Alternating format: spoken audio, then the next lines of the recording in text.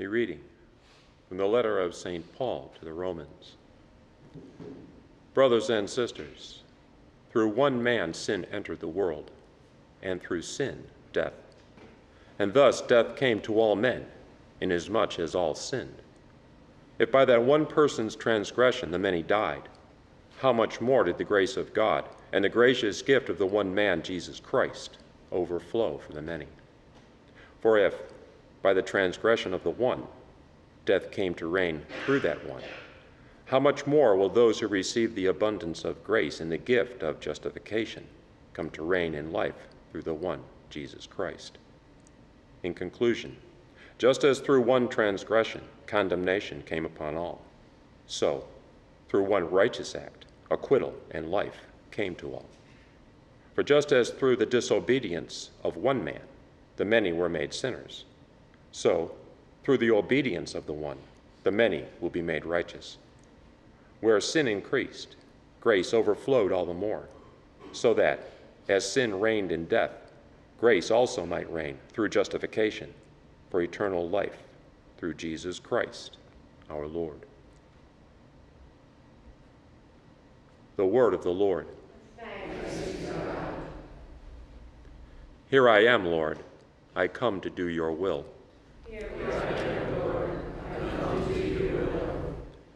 Sacrifice or oblation you wished not, but ears open to obedience you gave me. Burnt offerings or sin offerings you sought not. Then said I, Behold, I come.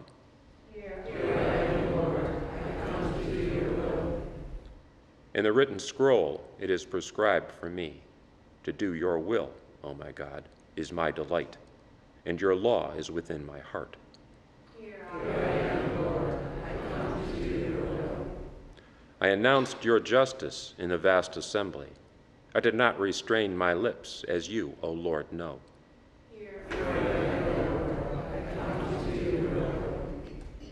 May all who seek you exult and be glad in you. And may those who love your salvation say ever, The Lord be glorified.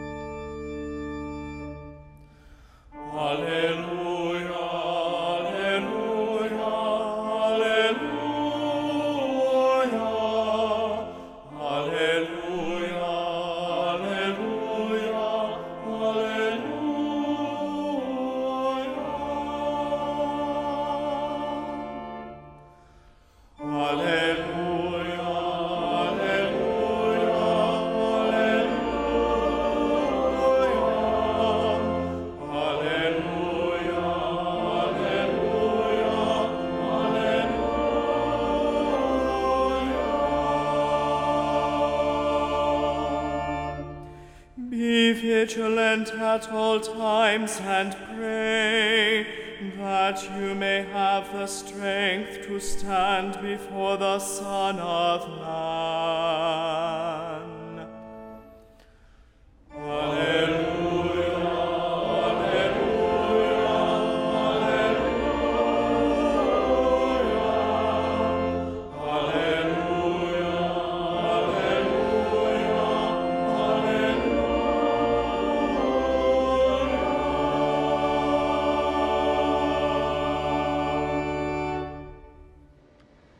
Dominus vobiscum. Lectio Sancti Evangelii secundum Lucam.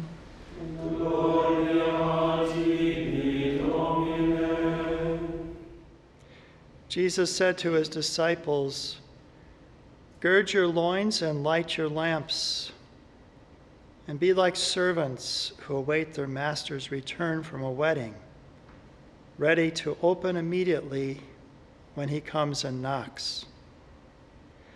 Blessed are those servants whom the master finds vigilant on his arrival. Amen, I say to you, he will gird himself, have them recline at table, and proceed to wait on them. And should he come in the second or third watch and find them prepared in this way, blessed are those servants. Verbum Domini.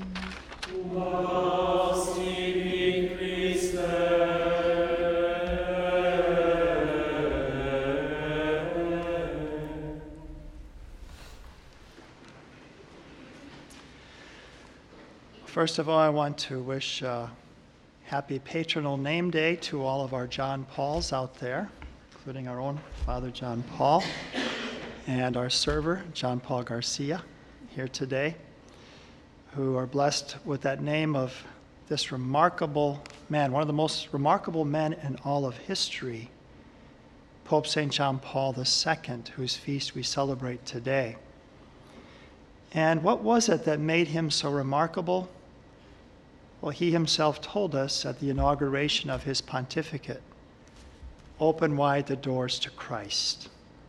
Open wide the doors to Christ. And his very first encyclical was on Christ, the Redeemer of man. And here's the very first sentence of that first of his encyclicals The Redeemer of man, Jesus Christ, is the center of the universe and of history. That's what made him remarkable. That's what makes us remarkable. That's what gives us divine life.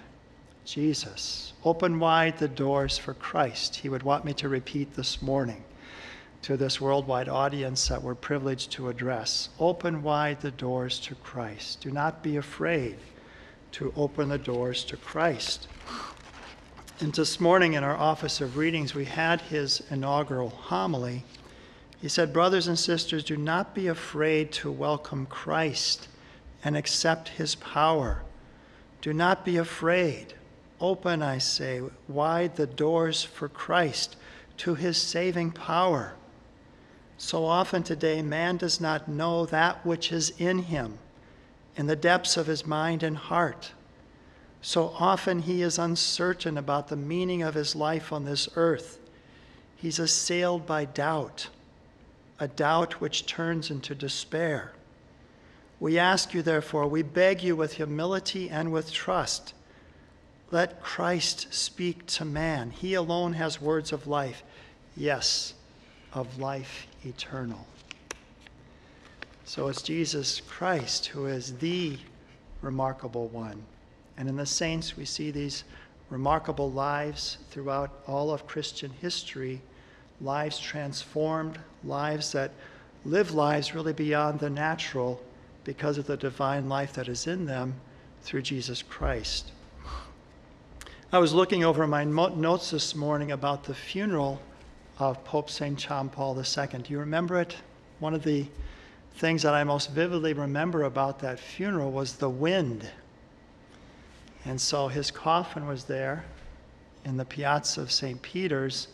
The cardinals were all dressed in red, which was the color, which is the color of the apostles.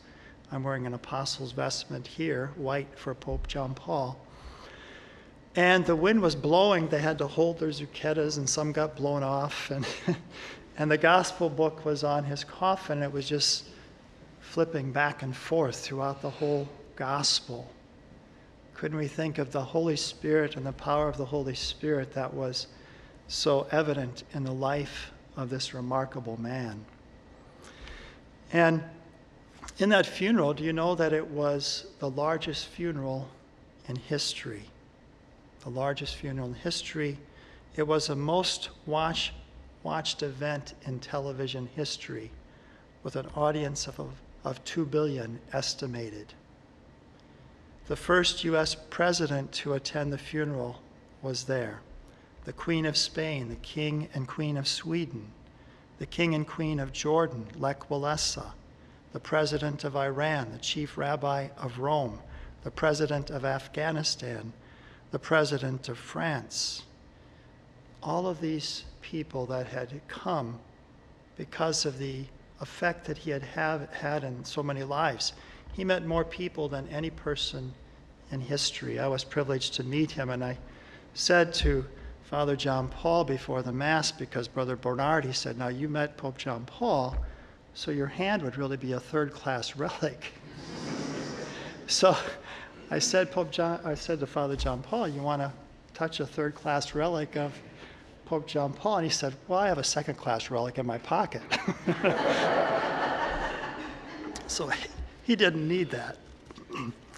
but he met with so many people at his private mass that he would have, and I was privileged to be there twice, once as a seminarian and once as a priest.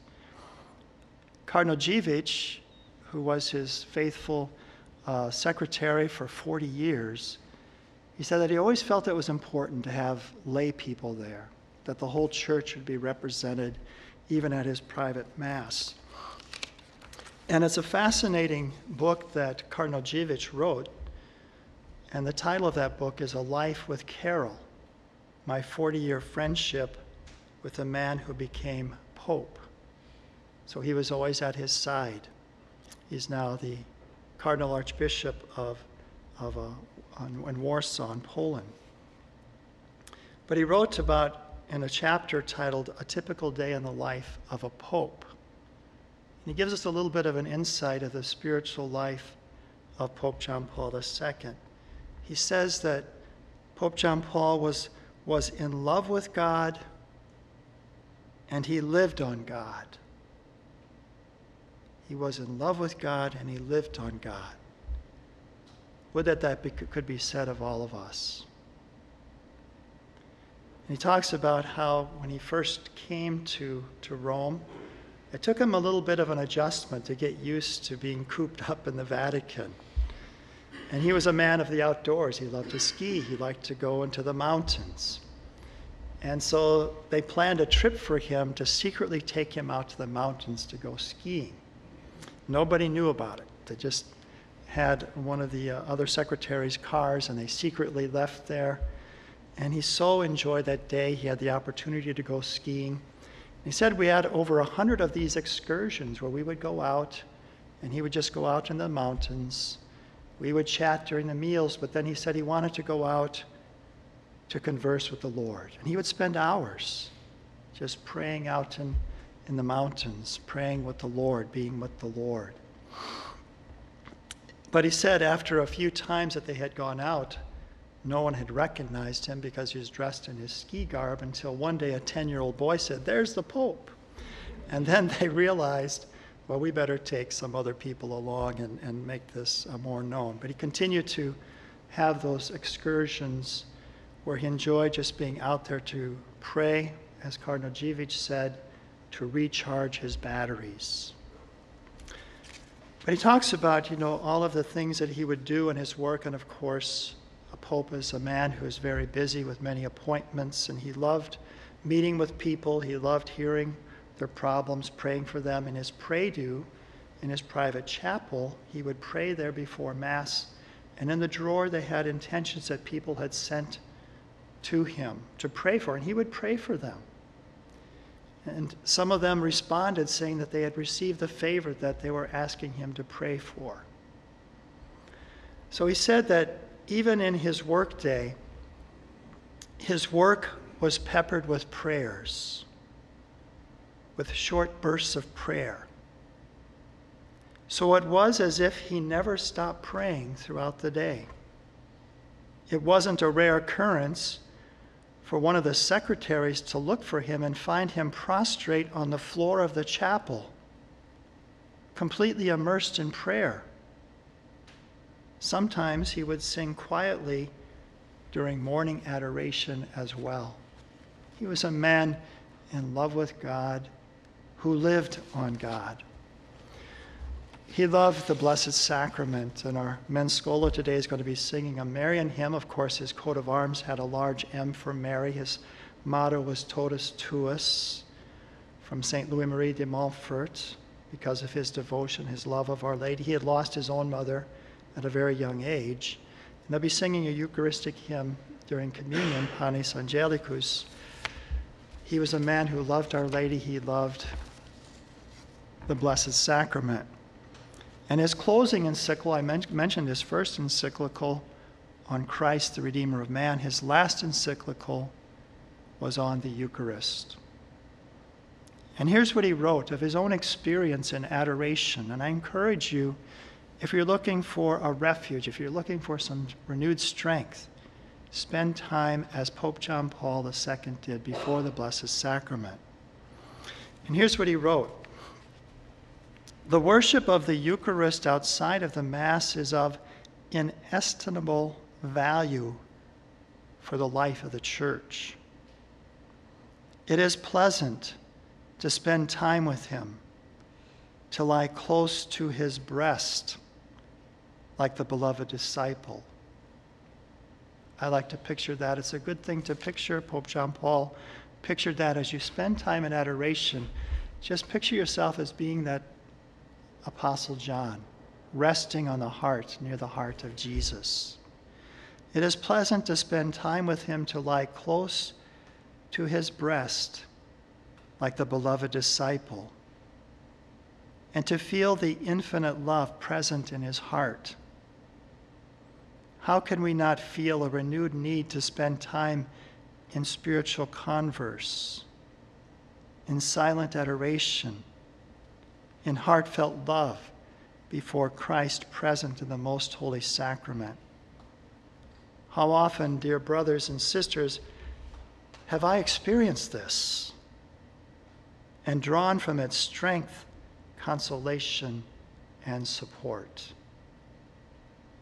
The Blessed Sacrament. It's really fitting that today, where Pope John Paul II's body is, and Father John Paul was just in Rome for the canonization of Cardinal Newman and, and um, giving some spiritual uh, retreats and so on for our crew there in Rome, that he visited St. Peter's, and what you find where the body of Pope John Paul, St. John Paul II, is to the right is a Pietà, the famous statue of Michelangelo of our, our Lady holding Christ. And on the other side is the Adoration Chapel of the Blessed Sacrament that he instituted to have adoration of the Blessed Sacrament there. and there are sisters who pray there. The faithful can go there to pray as well in the Adoration uh, Chapel. One of the questions that I always ask, and I'll conclude with this is what was the miracle that led to his canonization? His beatification miracle was a French nun, Marie Simon Pierre, who at the age of 47 had Parkinson's disease. And three months after Pope John Paul had died, she was praying to him and she was completely healed. The canonization miracle actually happened on the day of his beatification. There was a woman in Costa Rica who had a brain aneurysm, and they had tried to operate on it, but they said it was in a place that it was inoperable. And probably she only had about a month to live. This was in April of 2011. Well, May 1st, 2011, was the day of the beatification of Pope John Paul II. And she's watching the beatification on television, probably EWTN. She's watching the beatification. And she falls asleep after watching that beatification, and she's woken up by the voice of Pope John Paul II, who said to her, Get up, be not afraid. The first words of his uh, uh, pontificate Get up, be not afraid. So she gets up because she had been told to just be on bed rest for the rest of her life. Her husband was surprised to see her get up, and she said, I was healed. And when they did medical examinations, the doctors were stunned to see there was no aneurysm there anymore. She went to Rome, and they secretly took her to a hospital where they examined her again. No, she was completely and instantaneously healed through the intercession of Pope St. John Paul II. So we thank the Lord that he continues to help us through the intercession of the saints like Pope St. John Paul II. Such a remarkable man who accomplished so much And he taught us also how to suffer well. The last years of his life, as you know, he suffered with Parkinson. His speech was slurred, but he continued to teach. He continued to go on, even though it was painful and difficult for him.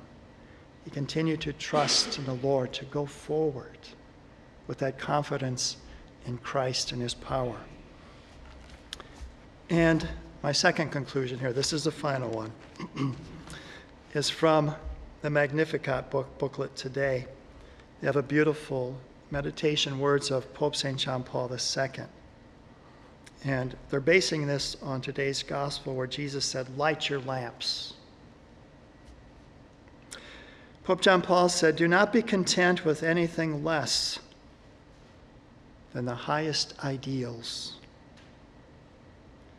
Do not let yourselves be dispirited by those who are disillusioned with life and have grown deaf to the deepest and most authentic desires of their heart.